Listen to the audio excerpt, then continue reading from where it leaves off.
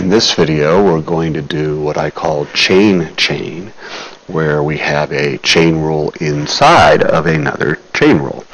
In our first example, sine cubed 3x squared, we're going to think of sine cubed in this fashion to show clearly the first inside function and then our second inside function or outside function is like x cubed.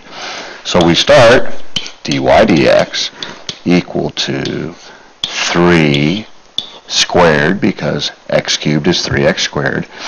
Don't change the inside. Multiply by the derivative of the inside. Well, now that is also chain rule. We have inside function, outside function. So the derivative of sine is cosine. Don't change that inside function multiply by the derivative of our inside function, 6x. I would probably bring this out in front. So I have dy dx is equal to 18x sine cubed 3x squared. I'm going to bring that 2 back to its original position. Cosine 3x squared. In our second example, again, I'm going to think of this as the inside function to the fourth power. So we have inside, outside is like x to the fourth. Derivative of x to the fourth is 4x cubed. So dy dx is equal to 4 something cubed. Don't change the inside, so cosine root x times the derivative of the inside. Well, now notice we have an inside function of root x, outside function of cosine.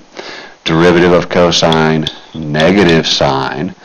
Don't change that inside. Multiply by the derivative of our inside function, which is 1 over 2 root x. I would do a little simplifying at this point this 2 can cancel out and reduce. So now dy dx is equal to, I'm also going to move that negative out front.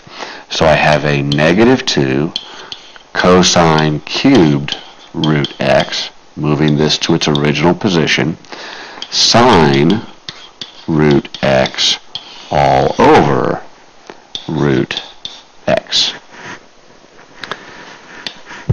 In our third example, our inside function is sine x squared, outside function root x, dy dx is equal to, the derivative of root x is 1 over 2 root. Don't change the inside function. Multiply by the derivative of the inside function. Derivative of sine is cosine. Don't change the inside. Multiply by the derivative of the inside.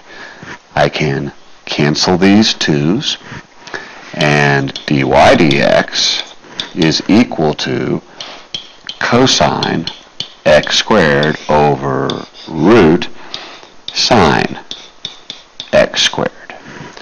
In our last example, it looks like this is quotient rule, but what I would do is I would rewrite this as a negative exponent, cosine of 2x to the negative 2. Now we can use chain chain. So our inside function, cosine 2x, our outside function we're going to think of as x to the negative 2.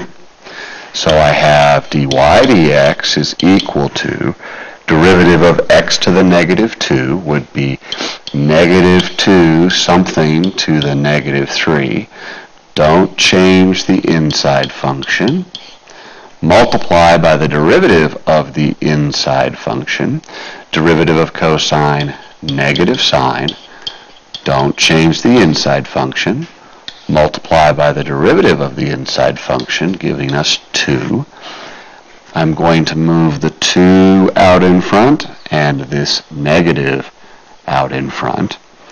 dy dx is equal to, now notice I have a negative exponent there. So I'm going to move that to the bottom. So I have a double negative here. So that's going to make a positive 4 sine 2x. And then on the bottom, I've got cosine cubed 2x.